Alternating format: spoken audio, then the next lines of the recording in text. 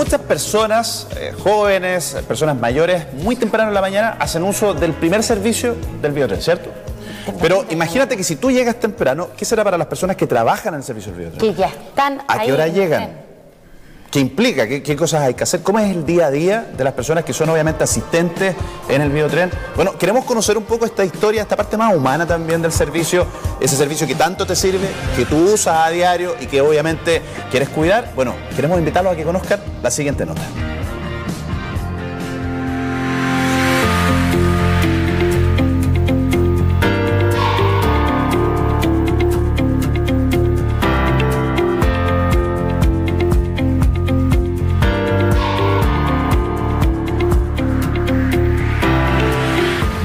Ramón Morales, asistente de viaje. Trabajo en FESUR desde marzo hasta la fecha.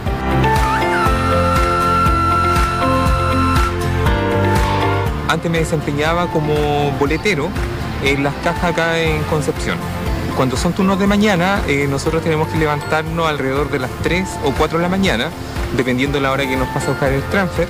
La idea es estar listo cuando el chofer está en la casa para nosotros emprender el viaje hacia nuestra estación de origen de salida.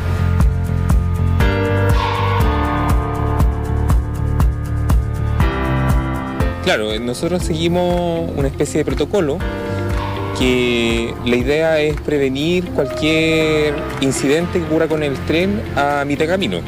Es decir, que nosotros tenemos que ver los elementos de seguridad como extintor, eh, y lo otro, que es fundamental, que para eso estamos nosotros dedicados, es revisar la rampa que se encuentre en sus condiciones aptas para poder eh, llevar a la gente que tiene movilidad reducida.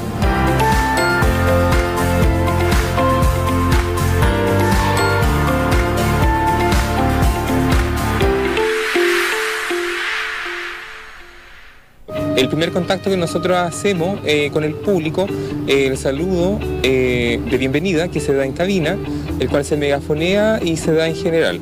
Después nosotros nos paseamos en el tren para dar un saludo más personalizado y empezar a contar pasajeros, que es importante para llevar datos de evasión que pueda tener la empresa. Y eso se da a gestación después de terminado el turno. Y lo otro que también nos proporcionan con Postmóvil, que es una forma de una recarga a bordo, la cual pueden realizar los pasajeros que quieran y así evitan una futura infracción a su tarjeta.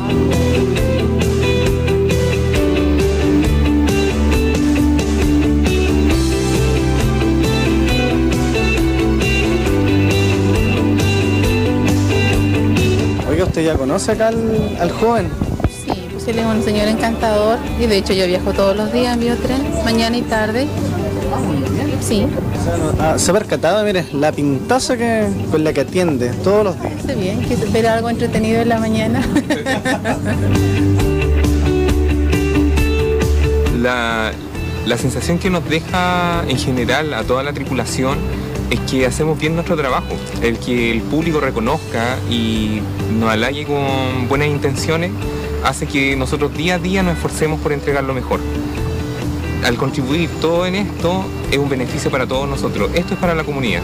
Esto no se trata de ganar más lucas o, destacar por, ser cada uno. Esto es de todo. Nosotros somos tripulantes y pertenecemos a FESUR y día a día estamos aprendiendo y nos estamos adaptando a las condiciones y requerimientos de los pasajeros.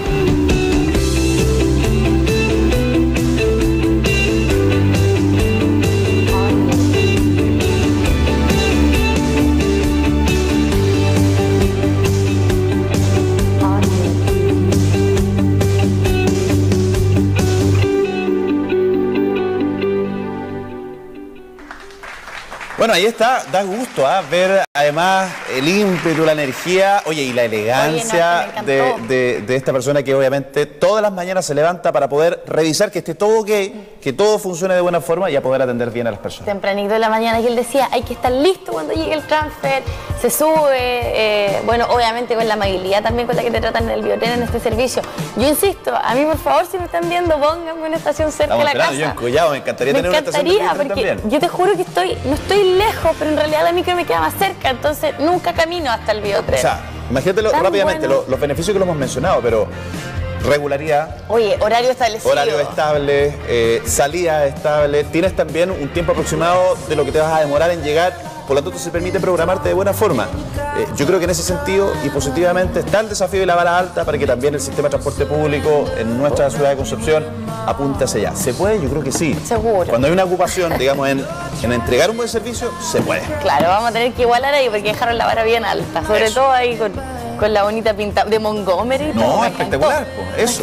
Oye, ¿sabes tú que estamos en el mes de diciembre? eh, y así como para muchas personas también llega la Navidad, para otros llega también lo que muchos llaman un regalito. Ese regalito que te entregan a veces en la empresa. ¿Qué es o no es tan regalito? Eso no es formal. Queremos hoy día conocer todo en torno a los aguinaldos. ¿Cómo son los aguinaldos? ¿Corresponde que te lo entreguen un año y otro año no?